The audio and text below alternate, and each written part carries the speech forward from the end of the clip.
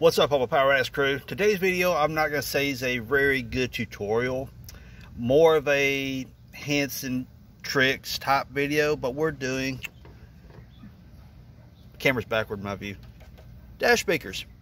Now, like I said, this isn't going to be a very good you know, how-to tutorial, step-by-steps, things like that, because I was really trying not to drop the windshield, trying not to tear my dash apart, I mean, you take out all the gauges and stuff like that. So I use Rust Bucket, which has most of the gauges already taken out of it, to show you ways to get into it. So if you elect you want to take out your gauges to reach it, it's totally up to you. Uh, at the very end of the video, I showed I used these little push-on nuts. They were quick, they were easy, and they really saved me a lot of headache. So take this video for what it's worth. It's not really what you call one of my best tutorial videos, but at least gives you an idea of what you're getting into when you change out these speakers. Cool? Let's roll. Over here on the driver's side, I got a little bit of an advantage. I don't have to deal with getting that speaker out there because it wasn't there when I got the Jeep. But another advantage it gives you as the viewers is that you get an opportunity to see actually what is going on behind that.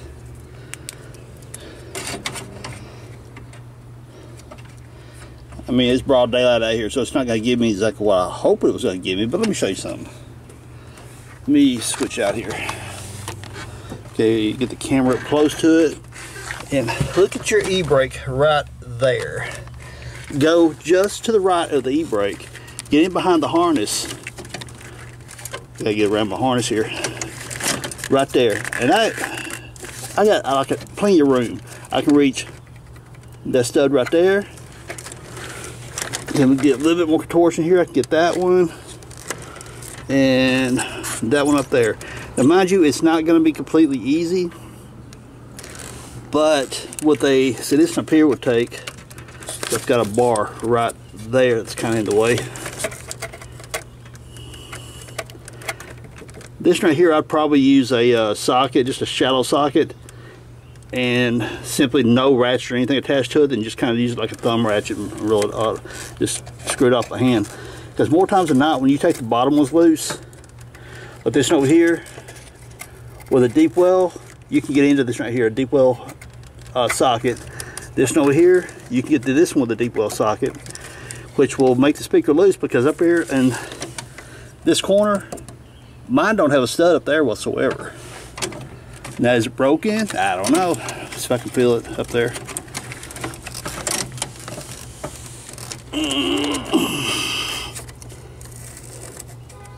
No, I don't even feel like there's ever been one right there. Wait a minute, right there. I guess I do feel one right there. So that right there would be pretty interesting to get to it because you've got that, see that red right there? You're going to have that in the way and so, I mean, to cram your hand upside down with the speaker there, that upper right here, that would be the problem child. Now here's the speakers that I'm using. Nothing special. No, they're not Blaupunkt. They're not Infinities or not any of those high dollar brands because I'm just not going to spend the money for it. This is this rig's my daily driver. It's not a concert hall. I mean, it's just a toy. And my driver too, as I just said. I just don't see the point spending that kind of money for something that's I don't care to leave the top off of and it gets rained on.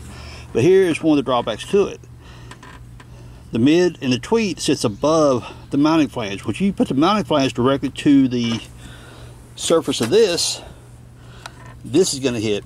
Now, you can actually run up there and let this right here hit this right here and just as long as you don't crank it tight, you'll be okay. It's not going to damage this right here too much. But your other option would be to take quarter 20 nuts and stack them up on the studs that's up underneath here because two of them will space you out enough to keep the face, keep those uh, mids and tweets up off the metal front right here, off that. So two quarter 20 nuts stacked on top of those studs will give you about what you need. So I'm to reach my hand upside there. I'm to go ahead and slide those onto the studs and cram a speaker up inside there. Now as you see looking through the speaker grill right there, sliding those nuts on for spacers to hold the speaker out so the mid and tweet don't hit the face right here. And I've already got the ones up here here and here, like I said, I'm not to fight that one. Another thing that will help you access a speaker is just taking the uh, e-brake out. You got one bolt right there, and you got two in the back, right behind all that right there. It's a stud that goes through the wall right there, so your nut's actually on the other side of the firewall. And that little light right there, Phillips head screwdriver, take that out of the way and make this, this right here a little easier to access as well. Now one of the most common methods is, is to completely remove the dash. And here's why I'm not going to do that. Oftentimes these hinges right here are so seized up that once you try to, once you get these bolts loose right here, once you get them right there loose where the, that, and of course you got your ones up here your spreader bar, then your windshield's loose, your windshield has to lay forward at that point, which will expose the screws right in the top of this, which goes all the way across the dash to the uh, passenger side. Well, oftentimes the knot, that hinge right here is so seized up that doesn't want to move. Then you get your people who go like, well, I'm gonna make it move. I'm gonna push. I'm gonna do this. I'm gonna do that. Next thing you know, you busted your windshield. Honestly, the easiest method would probably be lay the windshield forward, take all those screws out. But you know, in a perfect world, that's fine. But in the everyday world where crap's rusted all to pieces, it's gonna be a pain and you're risking damage and such. So so I'm not taking that option. Kicker makes a kit that takes this little plastic insert that you drop in right here and it drills out the holes where the studs are. Then you bolt in the new ones. There's an option. I think uh, Quadratec has it for like, I don't know, it's like 170 bucks for the kit or something like that. So Rust Bucket still has this driver side speaker and I've got all the dash components and everything taken out of it for, you know, I was making videos a while back on how to remove stuff. Uh, so I went and took, took these right here out and you can see right there is that speaker nut? And the top one you're not going to really get to very well but if you take your cluster out I can touch right there. I'm on it. And with a regular socket I can get to it if I remove the speedometer so and I'll link those videos up on how to remove the speedometer so that way you can get into it to do it. Now this one's a 93 that was a 91 the speedometers, clusters, stuff like that do come out different, but not by a whole lot of different. So I'll link that video up. Like I said, this one's a 93. And it'll give you an idea if you got an earlier model like that one, because that was uh, the, being the 91. Again, the dash cluster is a little bit different than those. And this thing sits back here so much, I'm afraid to stick my hand up inside it for wipers just so it makes it easier for me to line these up, I know which holes to go for because these uh, 4x6 come out with multiple holes in them. Look, on it, stay.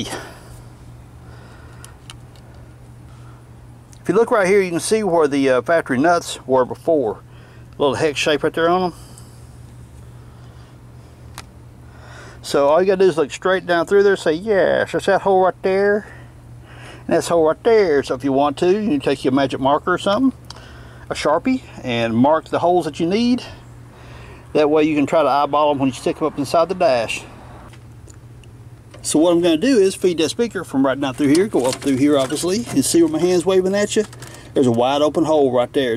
And all you fellas say, oh, I got really big hands. Dude, I've got my hand wide open right there. You got plenty of room right here.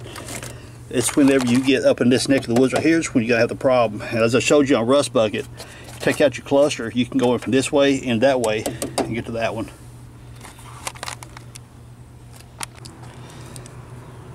So I'm rolling the nuts that hold the speaker in out of rust bucket. I'm using this little thumb ratchet right here. I'm getting in from right here. And I can get, I'm on that top one right there. And I'm taking it out right there. Pretty easy. So I'm working on this bottom left right here. And like I showed you on that rig up there, yep, like I showed you on that rig up there, how you go in between the wiring harness, which is what I'm doing here. I was hoping and praying I would stick my hand to a wasp nest. But I've got that little palm ratchet on it. Listen, the bottom left one, I'm taking it off right now. Ta-da, another one. And by the way, I'm using a number nine, nine millimeter socket. If your rig happens to come with a wiper delay module, you're gonna have two screws right there. Just drop that sucker out of the way and that'll give you more room to get beside here. Look at that. Oh, crusty rusty rust bucket. Got intermittent wiper. Hmm. But I'm gonna put that in that one. The bottom right screw, since I've got this uh, speedometer taken out, right, the socket then fell off. There it goes. Right there. I'm backing it off. And so just to be complete, I went and grabbed me a number nine wrench, went in from this way, and this top left one right here, I can get to it. And now, if you had a quarter quarter inch drive, nine millimeter, I'm pretty with a uh, deep well. Yeah, if you had a quarter inch drive ratchet with a uh, nine millimeter deep, you could definitely get to it. Because I'm, I mean, I'm like turning it right now. So a quarter inch drive, nine millimeter deep, we'll get that right there if you pull your speedometer out. Ta-da! It's mounted, it's done. Oh, I'll show you she's solid. If I get my hand back there again. It's a whole lot of shoving that wiring harness around to get up in there, but you can see I'm moving it, or trying to move it. It's not moving.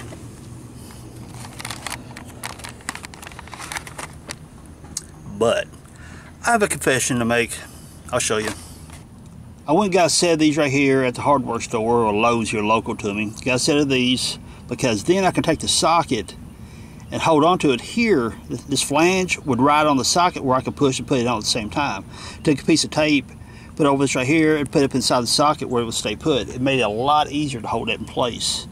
And that one actually only went there. And I told you I wasn't even gonna waste my time for that one because I'm not. I didn't want to take out my cluster or my, I, just, I, say I keep saying cluster like in the whole gauge cluster, but I didn't want to take out my speedometer.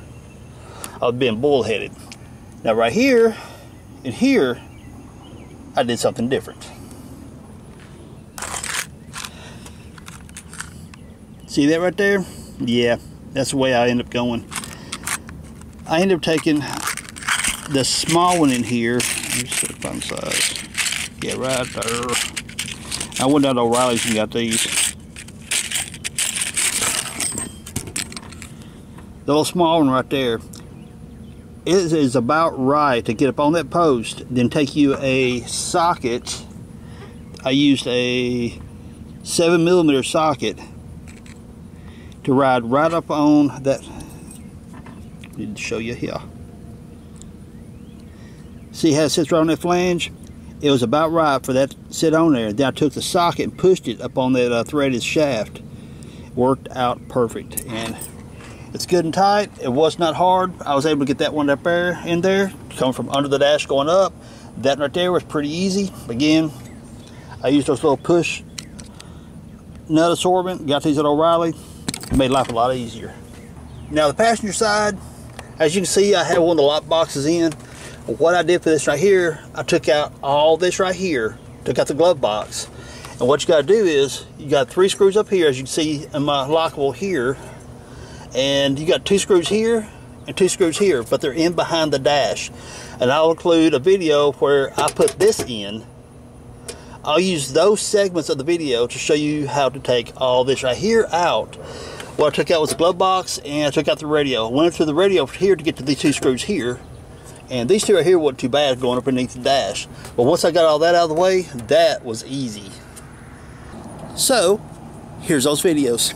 So to start out with, you got three screws up top, which I've already been missing for a long time to begin with. Then take these screws out right here across the bottom, which loosens, allows this bottom right here to separate. But the fun ones are behind here. There's two screws back in behind here, and two screws in behind here. Of course, well, I mean behind, like you gotta go up upside here to get to them. So I'm gonna go ahead and take these right here out and then we'll work on getting them back there. So to get these out, quarter inch socket, or in my case, I'm using this uh, multi-bit driver right here, using the quarter inch. They come out. So for kicks and giggles, I'm gonna cram my phone up inside the dash here so I can show you guys where those screws are located. So let's do it. Let's see, get here so we get a little bit of a focus thing going on. There's the back side of the speaker. Right there. See those two Phillips head screws? Yeah, you got two on this side and two on the other side. Get them out of there. Have fun with that. Got two out. Show you what I'm using to get this done. using a little stubby ratchet right here by Tekton, and I'll link it up. I'll put some links where you guys can buy these tools if you want them. And a little thumb ratchet with the bit that fell out of it. Not that one, I got a short one somewhere that I done dropped, apparently. Okay, you know, I got a little small, short, uh, four-way bit right here that I gotta find now. Yeah, that's good.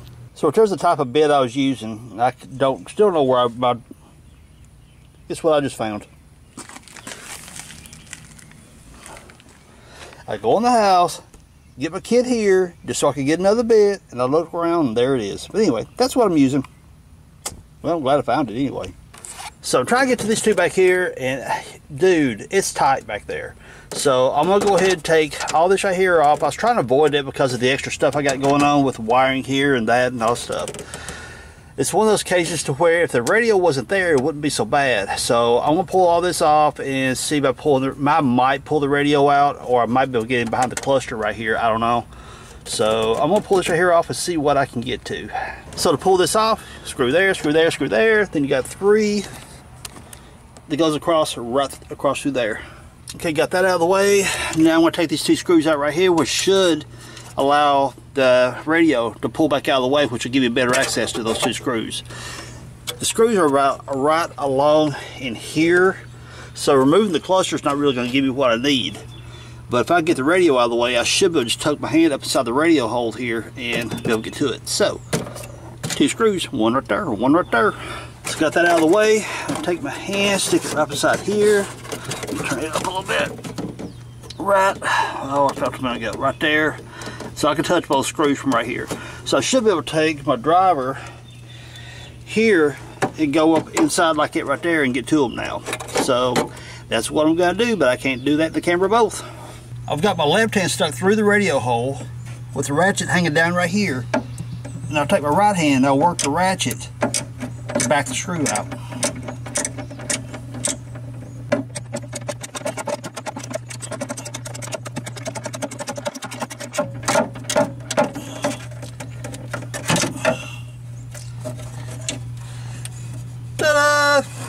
Now we get the other one. Then after you go through all that, it'll slide right out. Yay, conquered. And for this little contraption right here, it's called a thread cutting nut that I used on this spot right here. It worked really well. It is for a 3 8 hex, 532nd stud. And like I said, I got this at Lowe's. So there's what you need to know. All right, my Power Addicts crew, I told you that wasn't like one of the best tutorial videos out there on this. Now, you guys can drop down in the comments the, the techniques you guys use to change out your speakers. But if this video gave you an idea of what is involved into doing this and it helped you, be sure to hit that thumbs up. So if you guys enjoyed this video, hit that thumbs up, subscribe if you haven't, just cool comments down below. Appreciate you hanging out. Peace. Later, y'all.